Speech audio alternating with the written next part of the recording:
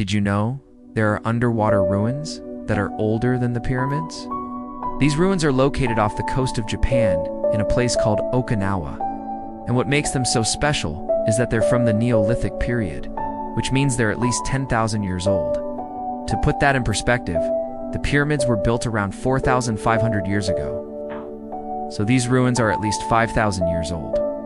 The thing is, we don't really know how old they are, because dating techniques only work up to a certain point, and these ruins are so old that they fall outside of that range. What we do know is that these ruins were built by a civilization that predates the Egyptians. And what's really crazy is that this civilization was 100% underwater. I mean, just look at this footage. It's like something out of a movie. You can see the ocean current moving through the ruins, carrying with it all kinds of marine life.